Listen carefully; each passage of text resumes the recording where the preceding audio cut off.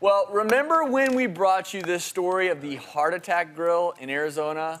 Well, that right there, that's a shot of their triple bypass Oh. burger.